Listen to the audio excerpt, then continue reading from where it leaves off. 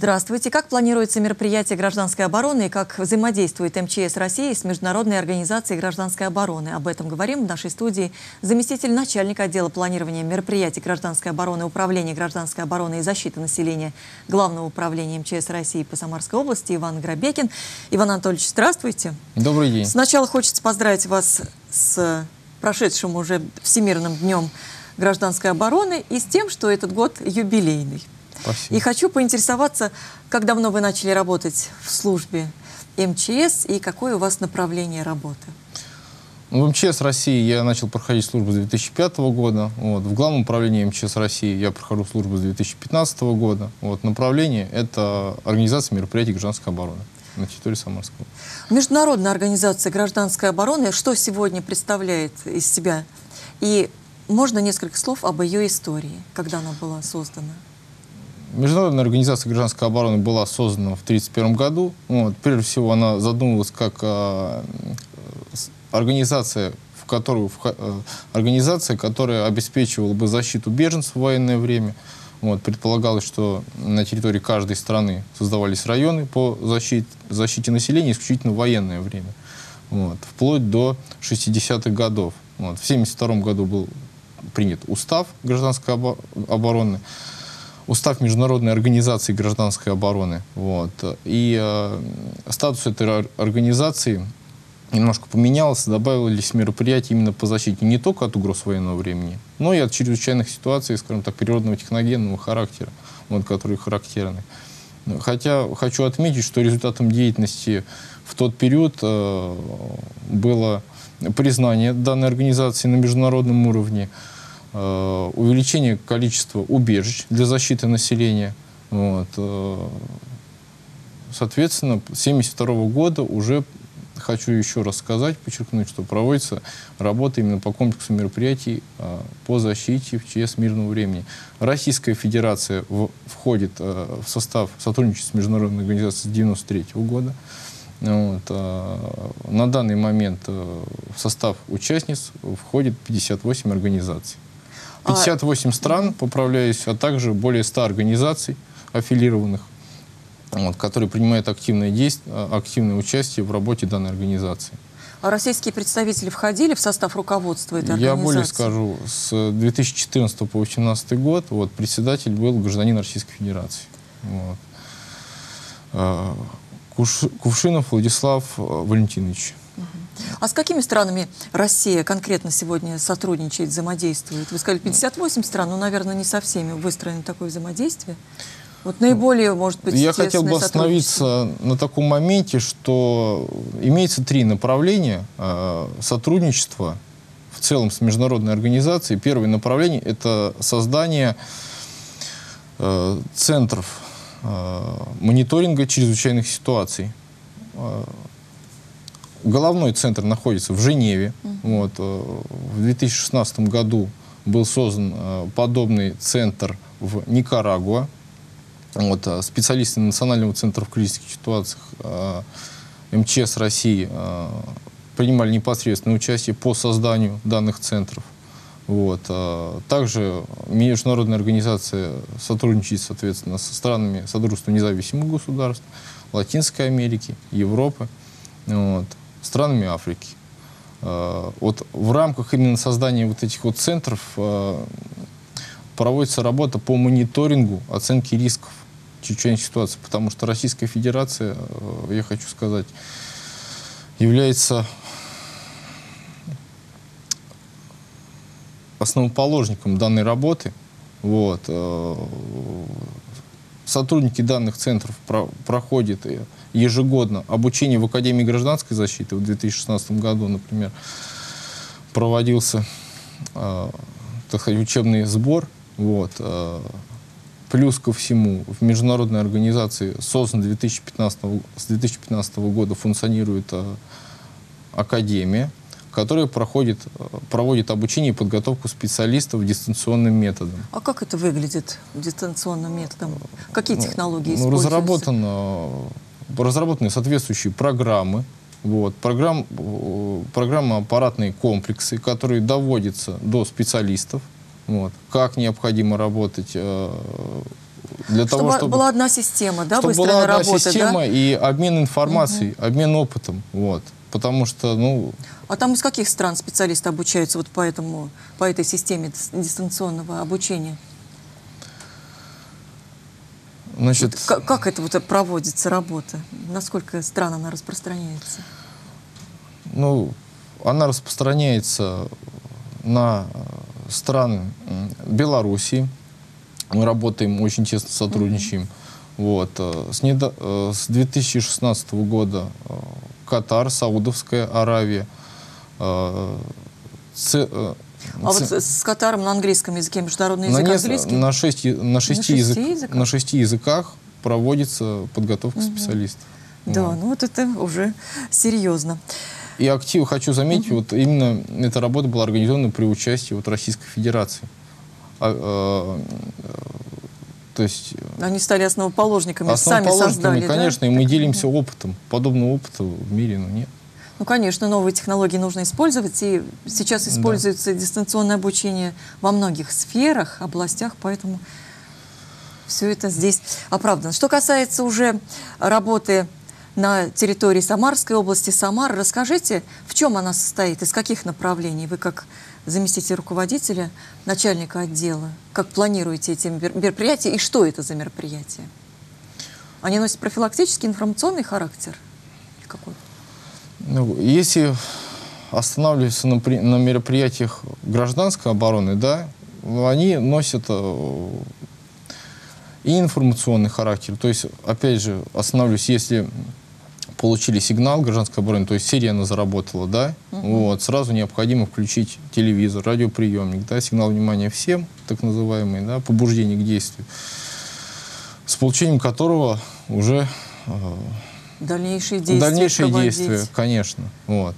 Наш отдел и главное управление занимается вот, планированием мероприятий как в органах исполнительной власти, так и э, в органах местного самоуправления, а также организаций.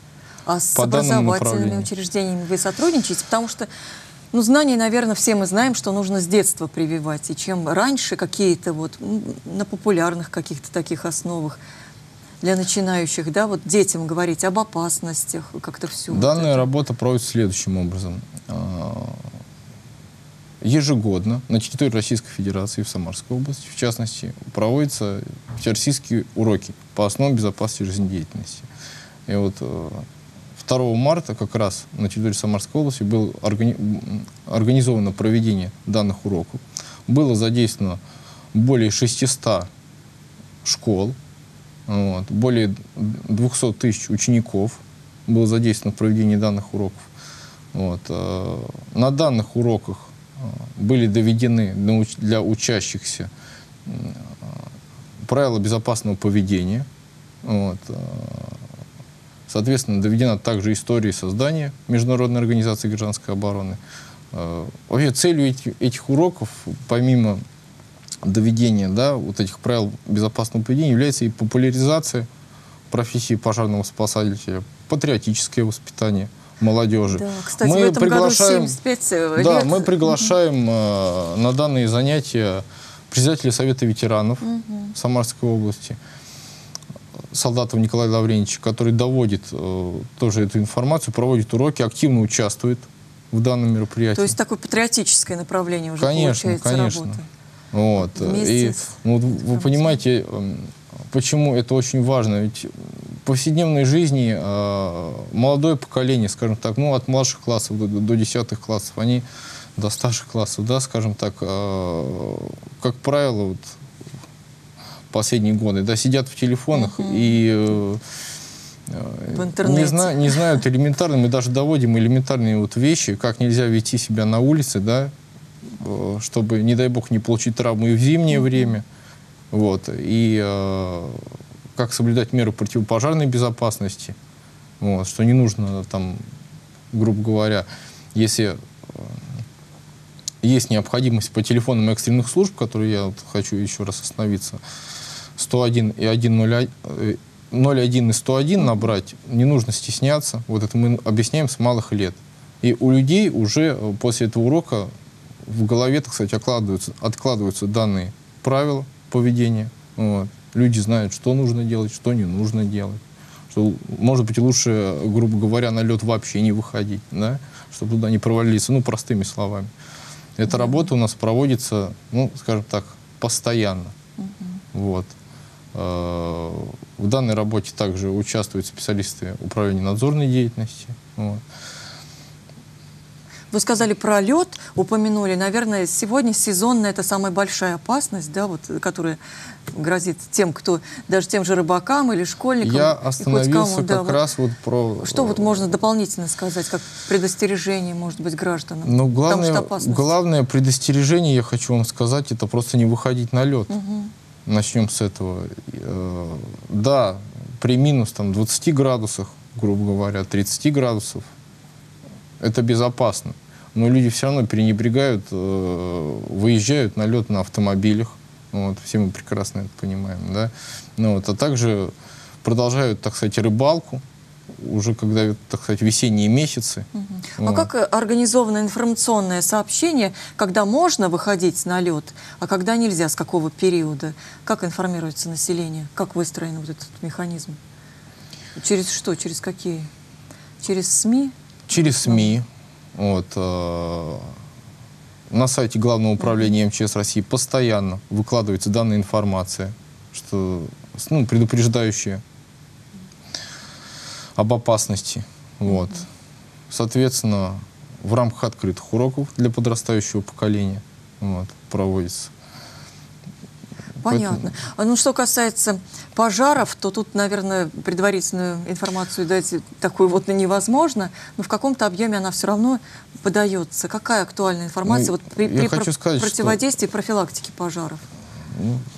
Если мы э, останавливаемся на природных пожарах, да, вот, э, ежегодно в Самарской области вводится, ну, как на территории других субъектов Российской Федерации, особый противопожарный режим, вот, э, ходе которого, так сказать, нежелательно вообще находиться в лесу. Да?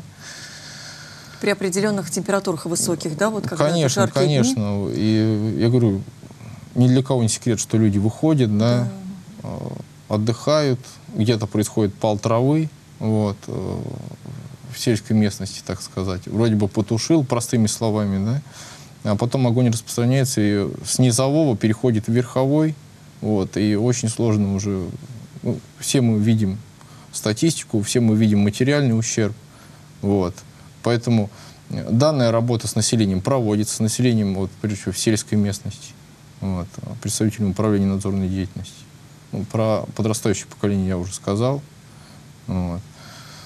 Ну и вот В связи с образом. тем, что меняется и поколение, как вы уже заметили, да, что Да. сегодня все дети и в интернете, в телефонах, какие-то новые способы работы профилактической используются, вот новое для молодежи, чтобы она воспринимала это, схемы какие-то новые, решения находятся, вот чтобы не просто вот в лекционном порядке, да, вот прочитал бы Знаете, лекцию, мы вот да, даже что, что при- как-то в вот рамках можно открытых уроков говорим самое главное. Если увидели, что что-то загорелось, не надо это снимать на телефон, как у нас обычные Да, взрослые кстати. дети, а сразу позвонить 101 или 01, так сказать, а не снимать и смотреть, э, как эта ситуация происходит. Вот.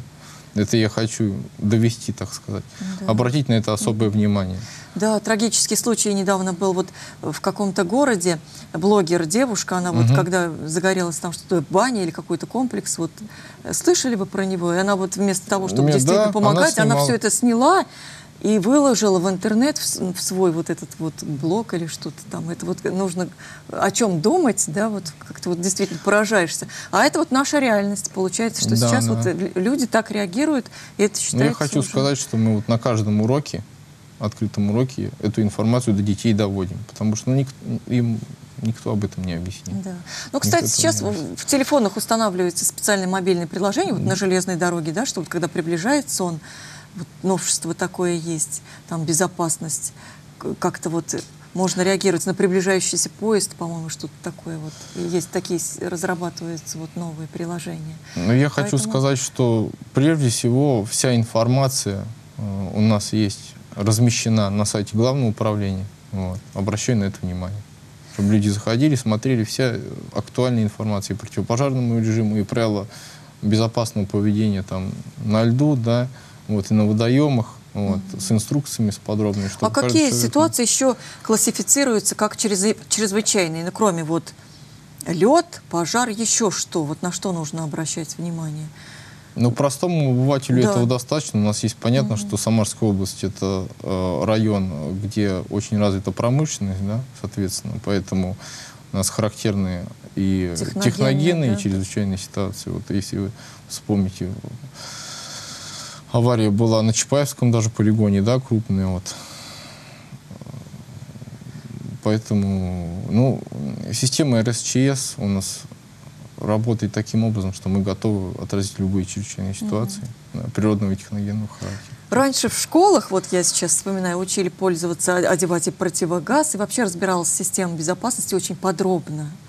А сегодня школьники какую информацию? Есть какие-то уроки специальные, где говорят о гражданской обороне, о безопасности? Что, как выстроена вот эта система? Именно в образовательных учреждениях. В образовательных учреждениях э, до пятого класса э, преподается предмет окружающий мир, с пятого класса преподается предмет основы безопасности жизнедеятельности. Вот. Э, плюс к этому в рамках вот открытых уроков э, мы, ну, сотрудники главного управления показывают э, ученикам, как одевать средства защиты, рассказывают, что такое защитные сооружения. А Вот. вас привлекают к такой работе? Как-то вы выходите тоже в школу? Сотрудники Конечно. МЧС, вот чтобы уже... Я об этом и говорю, Да? что... Ну, кроме э, учителей? с- Нет, кроме учителей. Да, э, школы, проводят занятия в школах сотрудники главного управления, А. вот, управления надзорной деятельности, пожарно-спасательных частей, вот. Э, Производятся выставки э, пожарной и, спасатель- и спасательной техники вот, в, в рамках этих, в рамках открытых уроков. Опять же, чтобы популяризировать профессию пожарного спасателя, показать, что такое пожарная машина, да, объяснить правила поведения, вот, рассказать э, про средства защиты, про гражданскую оборону. Вот, кстати, касаемо еще гражданской обороны и именно МОГО, да, вот, э, одно, из направ- одно из направлений деятельности это разминирование в, после локальных конфликтов, так сказать. Э, э,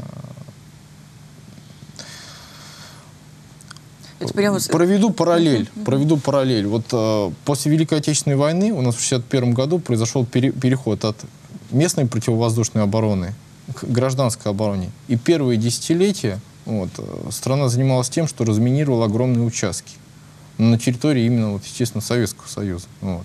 Международная организация гражданской обороны занималась этой работой в- также в послевоенное время на территории государств-участниц. Вот. До сих пор эти работы э, э, проводятся. Вот.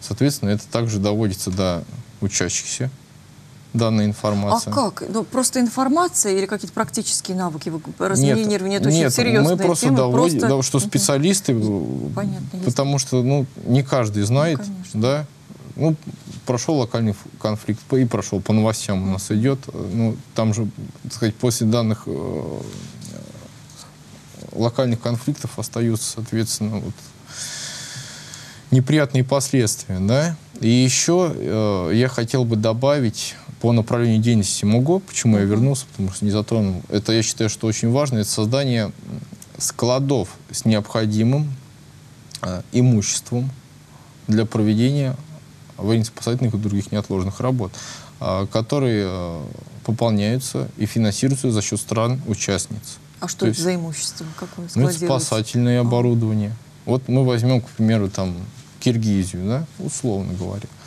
Вот. а, Не так экономически страна развита, да, что позволить себе. Да?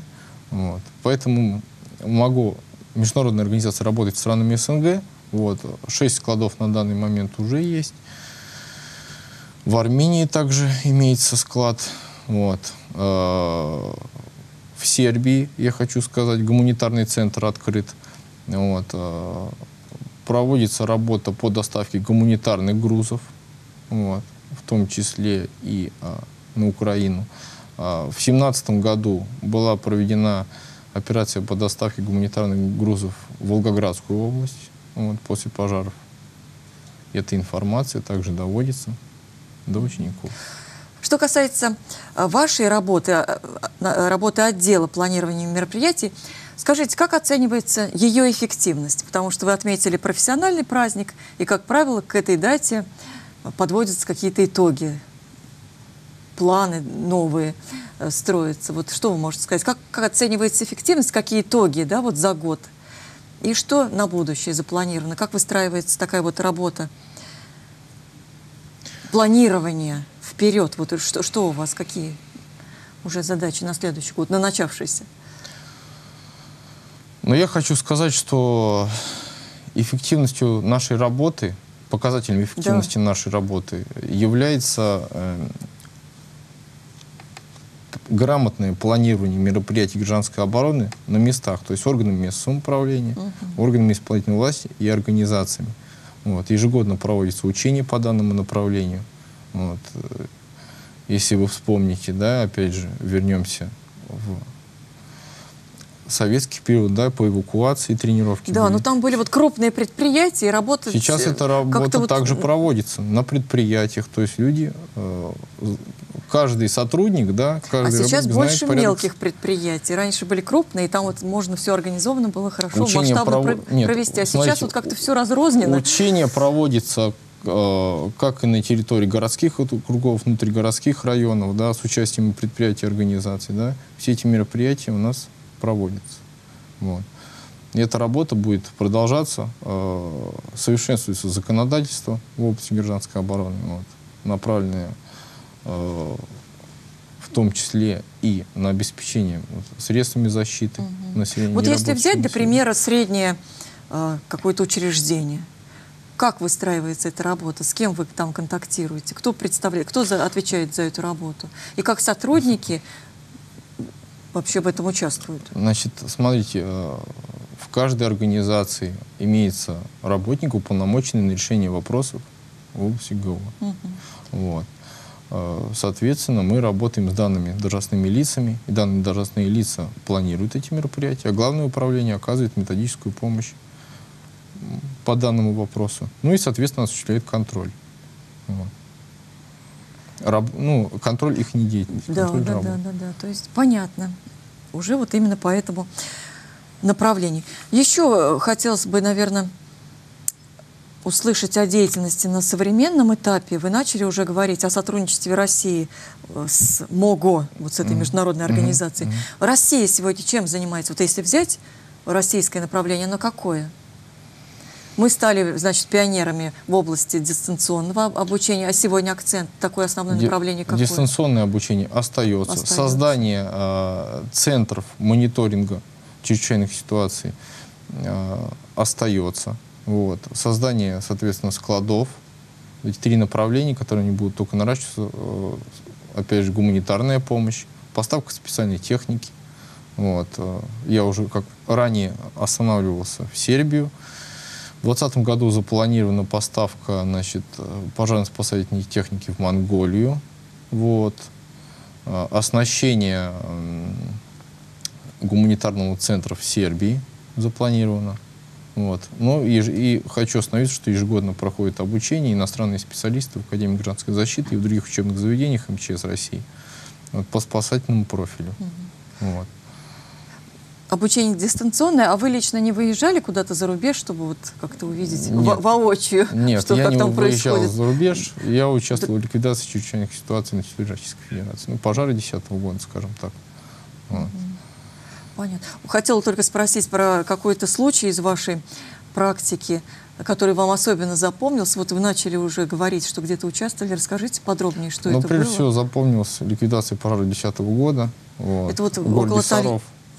В городе Сарово, да, Нижегородская область, mm. вот, на границе Республики Мордовия. Вот. А, что запомнилось? Прежде всего, знаете, а, хочу сказать, что еще раз возвращаюсь к тому, в преддверии вот пожароопасного периода, вот, это то, что нужно соблюдать требования пожарной безопасности. Исключить вот халатное обращение, чтобы не было таких у нас, так сказать, чрезвычайных ситуаций материального ущерба для государства. Да, были у нас вот экологии. го- горели леса около Тольятти, да, вот несколько да, лет да. назад, вот это действительно было страшно. И, вот. Да. И уже вы, э, тогда вот выяснили же, это, что к этому привело? Расследование, не помните вот так, таких каких-то подробностей? Ну, Как давай, правило, как правило, как это- правило, это халатное обращение. Вот. Наш Нарушение требований пожарной безопасности. Э, В заключение еще раз хочу, помимо открытых уроков, сказать, что также у нас э, планировались поздравления, проведены поздравления ветеранов гражданской обороны вот, в рамках Всероссийского дня. Вот. Выставки техники, открытые уроки, вот, в которых, ну, я говорю, задействовано более тысячи с лишним человек, учитывая учеников, ветеранов, граждан. Вот. Да. И у нас остается буквально одна минута. Хочу вас попросить еще раз напомнить телефоны и вот к кому обращаться, потому что чрезвычайные ситуации, они могут вот в панику, да, как-то вылиться, даже забудешь известные номера. Вот что первое сделать? И если вдруг телефон разрядился, вот такая ситуация, или там утонул, или там, ну, не, не знаю, вот что тогда делать? Вот номера телефонов, а если этого нет? Но прежде средств связи? всего, прежде всего, если э, человек идет там, опять же, на водоем, да, или в лес, надо заранее продумывать данные вопросы. Телефон а, 01 и 1, 10101 нужно помнить, да? Можно там у товарища попросить позвонить. Всегда есть возможность, да, дозвониться и сообщить о проблеме. А, вдруг вне зоны, вот там бывает, что э, на озере, вне зоны там действия мобильной сети или что-то такое, что лучше- и утонул вот рюкзак вместе с этим, с телефоном. Вот, Но прежде всего я хочу сказать, что следует просто не допускать попадания в подобные ситуации. Понятно. Вот. А э, зрителям, так сказать, младшего возраста не стесняться сообщать, даже если это будет как, какой-то ло- ну, ложный вызов, так сказать. Мы об этом, кстати, в школе вот, на Тоже последнем... говорите. Конечно, конечно. Лучше потому что зачастую ребенок да. просто Мгм. боится, думает, я сейчас вызову, и Да, да, да. будут проблемы. Но, с Хочу другой сказать, стороны, что есть и нет. случаи хулиганства, да, да, когда специально звонят и говорят вот что-то, Ну, какую-то это да, информацию. но вы знаете, Ну, это нужно. спасенная жизнь будет намного ценнее, чем боязнь, что вдруг подумают, что это случай хулиганства, хочу сказать. Ну что ж, на этом мы закончим программу. Спасибо за эту важную и полезную информацию. Всего хорошего. Прощаюсь я и с вами. До свидания. До свидания.